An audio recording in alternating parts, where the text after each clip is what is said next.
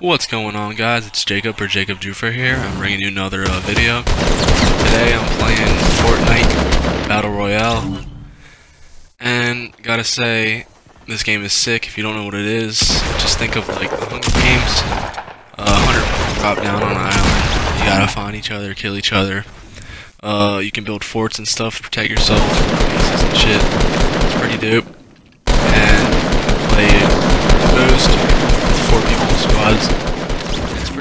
They got a bunch of different weapons. They're adding new stuff as the time passes, and it's pretty sick. When I first started playing it, it pissed me off because it was really hard. I think I'm getting used to it. A lot of these clips when I first started, so I suck. But still trying to get some kills. And uh, the farthest I've been, or like the farthest I've got, was second place. There can only be one winner at the end everyone has to kill each other, you know what I mean? Unless you're playing squads or duos. But if you're doing solo, there can only be one winner. The farthest I got was second. Still have yet to come in first, but uh, let's look at these clips. Not that great with the sniper, but got a couple of these clips. Just got lucky this dude was sitting still looking at his map or getting ready to build something, so I got him there. This one, dude took out my friend. I was waiting for him to come out. Got him. That one was okay, I guess. This one I built that thing, see the dude coming in. Bringing it down, so I decided to take my shot. And killed him.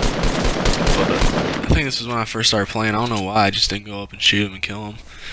I guess I thought there's people had his boy with him or something. So I go around, start shooting him while he's crawling down the stairs eventually get him. This one was Cody, killed Cody, so I had to take him out. As always, gotta come save my friends. It's like, I'm not that good at this game at all. this one I was playing solos, heard the dude coming up the steps. Bang! One shot him in the face.